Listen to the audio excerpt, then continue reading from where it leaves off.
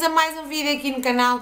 Hoje trago-vos uma espécie de rúbrica aqui no canal que eu ainda não tinha feito, mas que adoro ver no canal de outras meninas e que acho que é muito bom para nós não andarmos a perder dinheiro em produtos que não prestam, que é a rúbrica Testei e Não Gostei.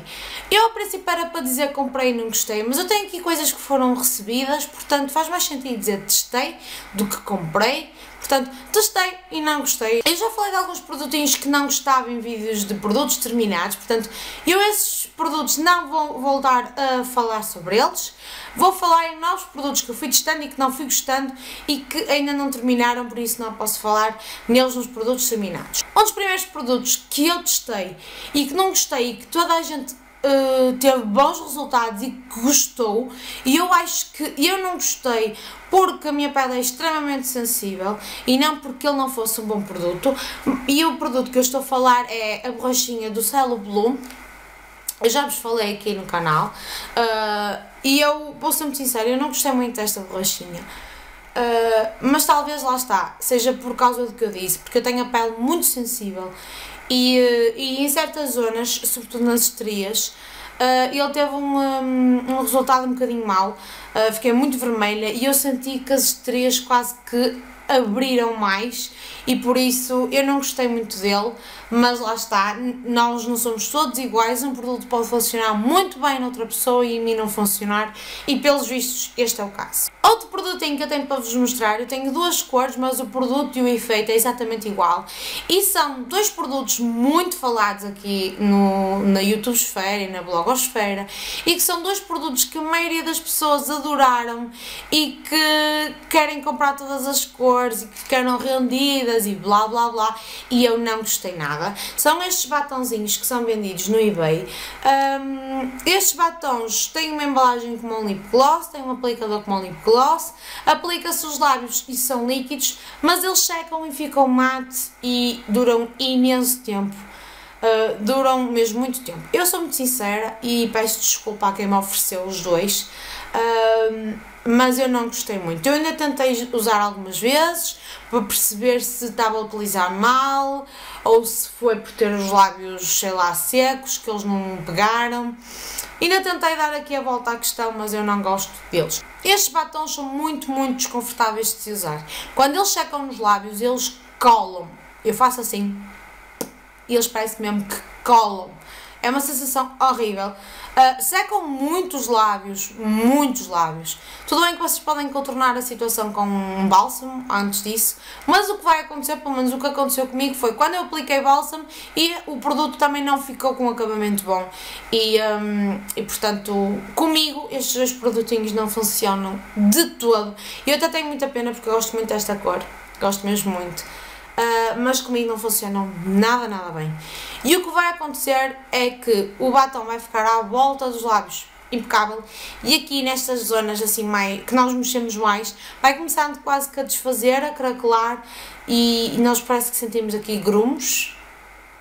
E uh, andar com batons assim eu prefiro aqueles batons que saem no instante que retoco mas que pelo menos não ficam um, mal nos lábios, portanto estes produtinhos eu pessoalmente não recomendo. Há muitas meninas que os adoram, mas comigo não funcionar. Mas eu vou-vos deixar aqui uma promessa.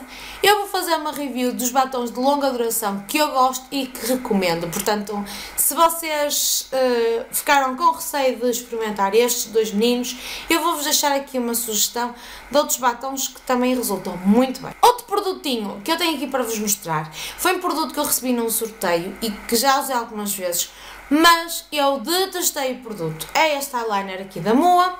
Ele tem uma coisa que eu adoro, que é ter pincel uh, dentro do, um, do frasco. Foi uma ideia inteligente, contudo este pincel não dá para nada. Ter este pincel e não ter, eis a questão. Ele se calhar para fazer alguns detalhes assim no olho, até é capaz de servir, mas para aplicar eyeliner esqueçam lá isso. Ele tem muito pouco produto, vocês podem ver, é isto de produto quase não tem produto nenhum. Mas eu nunca vi um eyeliner tão duro na minha vida. Vocês não conseguem tirar daqui produtos, esqueçam. Ele é tão duro, tão duro, tão duro, que eu quando fiz, um, quando tentei aplicá-lo, ele rachou todo ao meio. Eu não sei se vocês vão conseguir ver. Uh, este, ele até tem uma cor lindíssima agora para a primavera e para o verão. mas ele não sai do pote nem por nada. Portanto, este produto para mim é um grande não. Tenho outros dois produtos para dizer que não gosto, mas eu não os tenho aqui comigo porque eles já foram para o lixo. Que são o leite de limpeza e o tónico do mini preço, que agora é marca Bontem. Por isso é que eu também não, não me preocupei muito em mostrar-vos, porque a embalagem já está desatualizada. Portanto, a bem dizer, é o leite de limpeza e o tónico de mini preço. Não gostei porque, primeiro, não acho que o leite de limpeza retire muito bem a maquilhagem e que efetivamente faça uma limpeza. Uh, ele hidratar hidrata muito bem, até demais, porque eu utilizava aquilo, tinha a minha pele toda, toda oleosa. Uh, tinha assim um efeito horrível na minha pele. E o tónico, eu sou uma pessoa que tem a pele mista, tenho a pele às vezes com tendência oleosa, mas tenho uma pele muito, muito sensível. E esse tónico fazia muita alergia. Esqueçam, esses dois produtos não resultaram nada comigo. E acredito que quem tem a pele mista a oleosa também não vai resultar. Se calhar quem tem a pele mesmo muito, muito seca, talvez resulte. Mas comigo é um grande não. Outro produto que eu uh, detestei e que mesmo comprando a metade do preço, chorei, entre aspas, o dinheiro que gastei, foi este queridinho aqui, da base 9. Este produto, eu não percebo, eu vi muitas reviews dele, que era maravilhoso, que não era um óleo muito gorduroso, que secava no estante, uh, realmente disseram que tem um cheiro a cacau muito intenso e às vezes enjoativo, aí acertaram, mas no resto não. Eu não acho que ele seja um óleo assim nada de especial no que toca à hidratação. Uh, é um óleo super pegajoso, super pegajoso, super gorduroso, não seca. Uh, eu não gostei nada dele, uh, vou ser muito sincera. Ele também tem o do Aloe Fresh, que é o verde. eu não gostei nada, nada dele. Ele está, pronto, está, está a ficar, está a acabar.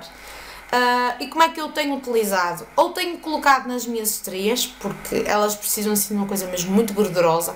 Por exemplo, antes de dormir e assim, meto porque não tenho aquela, aquela preocupação do óleo secar no corpo. Um, portanto, às vezes utilizo assim, às vezes ponho nas cutículas quando acho que estão mais secas, mas a grande utilização dele tem sido para os pés porque eu calço umas meias e estando os pés, o óleo seco ou não, é-me indiferente.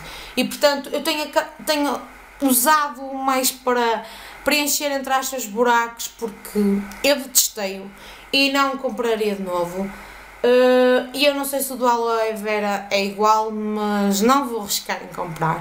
Acredito que o spray resulte muito bem, sim, mas estes óleos não. Uh, para mim, este hum, óleo da Vasinal é um grande, grande não.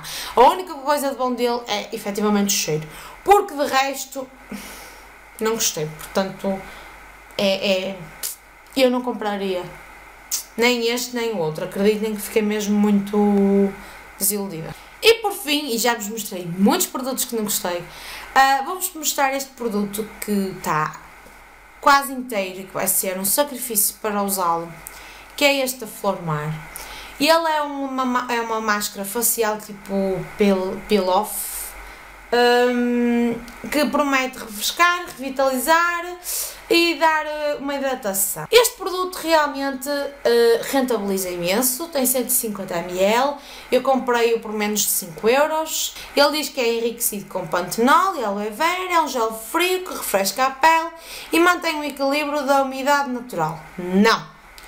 Ok, ele não refresca a pele, esqueçam lá isso. Isto não hidrata, não refresca, eu acho que não faz nada nada.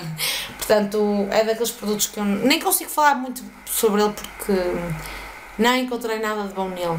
E ele vai saindo o produto, ou seja, vai criando, uma, vai criando aquela pasta peganhenta à volta. Portanto, nós temos de ter muito cuidado onde é que o guardamos. Uh, porque senão, quando vamos a ver, temos a gaveta cheia deste produto peganhento e é um bocado chato. E estes são os produtinhos que eu testei e não gostei, portanto, eu não recomendo a vocês, mas lembrem-se sempre de uma coisa, o que pode não ter funcionado comigo pode funcionar muito, muito bem com vocês. Se gostaste de algum destes produtos, uh, deixa aqui em baixo no comentário, eu gostava de saber, é curioso perceber como é que um produto para mim pode não resultar e para outra pessoa resultar maravilhosamente, portanto não te esqueças de deixar aqui em baixo o teu feedback.